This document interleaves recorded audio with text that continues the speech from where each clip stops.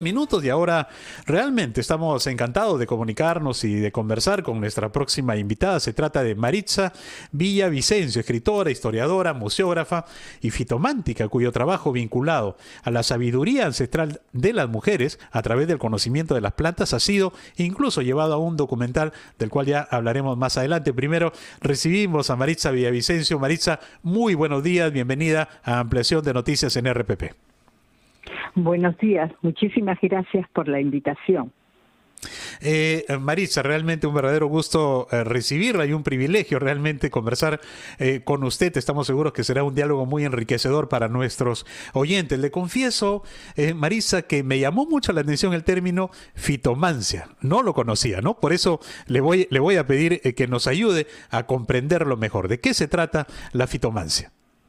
Bueno, en realidad en realidad es muy sencillo. O sea, fito eh, viene de plantas, o sea, significa plantas, significa vegetales. Y, mántica viene de la palabra mancia, que significa adivinación, es el arte de adivinar. Entonces, en este caso es el arte de adivinar por medio de las plantas.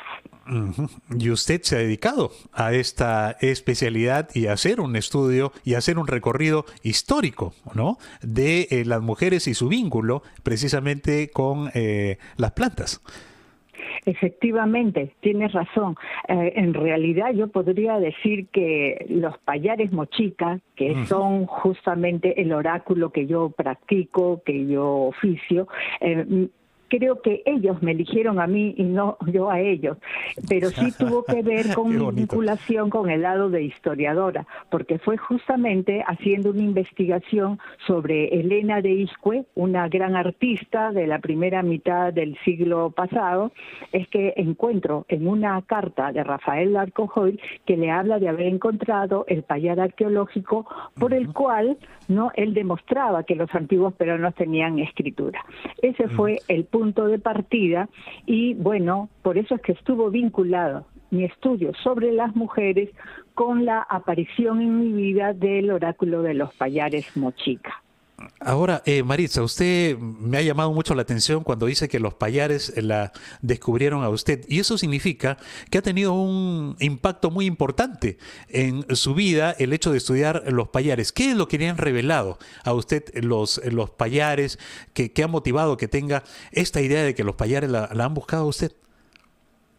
Bueno, en primer lugar, eh, a nivel personal, porque estaba yo pasando por una etapa, había regresado de vivir en el extranjero y estaba pasando por una etapa de reencuentro con mi identidad de peruana. Entonces, un maestro que tuve me dijo, mira, tu integralidad, tu totalidad, no la vas a encontrar si no te aceptas como paranormal.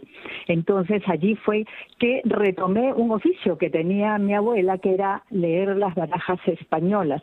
Y en ese proceso es que llegan los payares. Y me entero a raíz de las investigaciones que no solamente había la teoría de que eran escrituras, sino un oráculo. Y encontré muchos testimonios, sobre todo en la cerámica mochica, que efectivamente era un oráculo. Entonces, desde ese momento, por supuesto, puso en cuestión esta idea lineal cronológica que tenemos los historiadores de la historia. Entonces fue entender que el tiempo es más bien elástico, pasado, presente, futuro se mezclan y que tenemos no la omnipotencia, pero sí la potestad nosotros los humanos de poderlo direccionar. Ahora, pero esto está muy vinculado también a la sabiduría ancestral de las mujeres, quienes, por lo que puedo entender, eran las que mejor se relacionaban con los payares y mejor lo comprendían. Efectivamente, ese fue otro, ese fue otro de los temas que me llevó a tener la, a, la conclusión, digamos, la deducción, que uno de los campos de ejercicio de poder femenino fue la taumaturgia, o sea, fue esta adivinación. Después de algunos años de haber estado ya leyendo los payares, me entero por algunos estudios que fueron justamente las llamadas mujer payar, o sea, una red de mujeres que eran sacerdotisas, curanderas, parteras, adivinas, las que eh, básicamente y fundamentalmente leían los payares. Y una demostración de eso es que eh, estas mujeres están modeladas en la escultura en la forma de un payar y muchas de ellas incluso en sus manos sosteniendo payares. Entonces la vinculación fue mayor y esto también me ayudó a sortear muchos conflictos con mis con mis colegas porque claro eh, algunos de mis colegas me dijeron pero cómo si tú eres científica cómo estás creyendo en supersticiones pero no son supersticiones.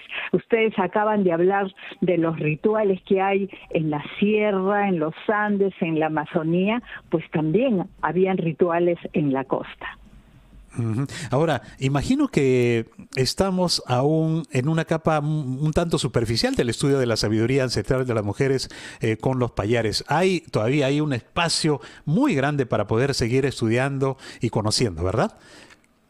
Mira, no solamente estamos en los inicios de los estudios de la mujer con los payares, estamos en general en los inicios de los estudios de la mujer, sobre todo en el antiguo Perú, del que yo postulo que las mujeres fueron muy poderosas, tuvieron mucho poder y sobre todo fue un poder relacionado con el diálogo con la naturaleza y por la vida. Ahora, eh, Maritza, para, terminar, por favor, ya nos ha ganado el tiempo, me comprometo a que en otra oportunidad podamos seguir conversando sobre este importante tema, pero hoy se presenta el documental Mujer y Oráculo, la historia del Perú en Nots Oranek de Mario Pozzi Scott. ¿Qué podrías adelantarnos al respecto?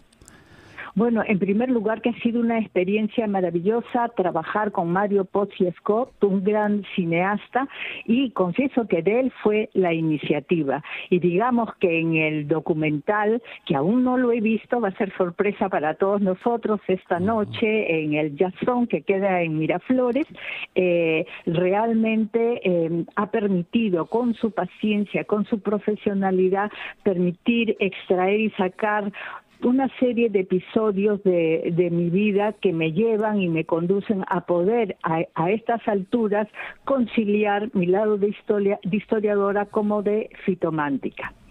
Entonces los espero esta noche. Sí, eh, esta noche. ¿A qué hora, Maritza? A las 7 de la noche en el Jazzón, que queda en Miraflores, en la Avenida de la Paz, 656. Un placer, Maritza, haber conversado con usted. Realmente hemos aprendido mucho en tan corto tiempo. Muchísimas gracias y que vaya todo excelente esta noche en la presentación del documental. Un fuerte abrazo, muy amable y muy buenos días. Muchísimas gracias y un abrazo de vuelta. Gracias.